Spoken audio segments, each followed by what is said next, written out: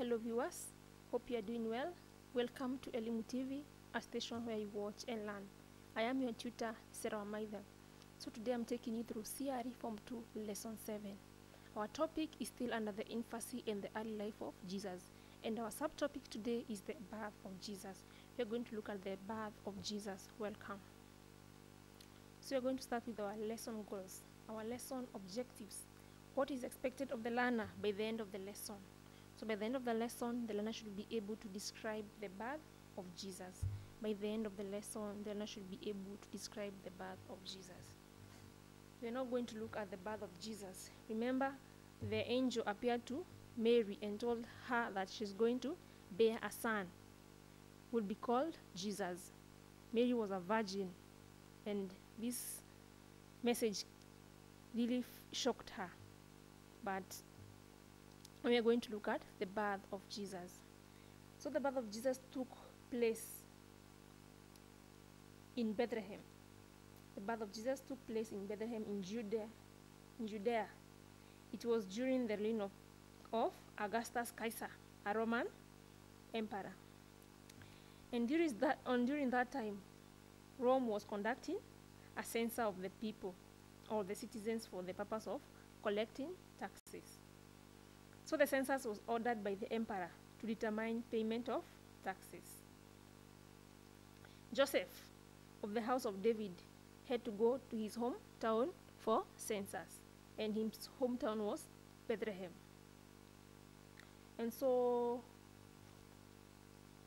Jesus was born during this time. He was wrapped in swaddling clothes, and he was also laid in a manger.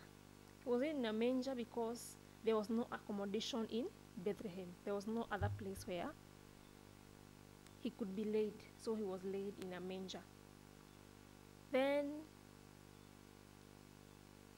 the first people to receive the news that a savior was born were the shepherds. The shepherds were out there looking at their flock.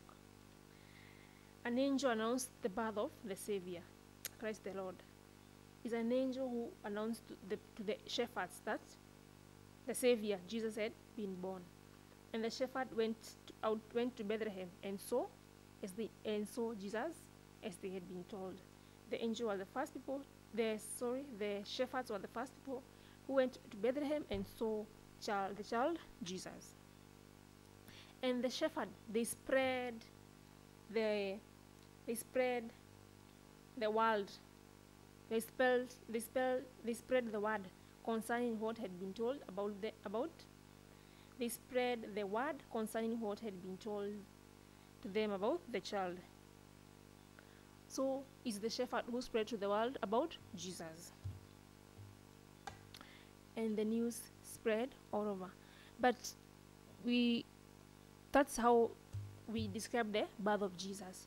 And there is a uniqueness or there is extraordinary about the birth of jesus we want to see how the birth of Jesus was extraordinary or how it was unique.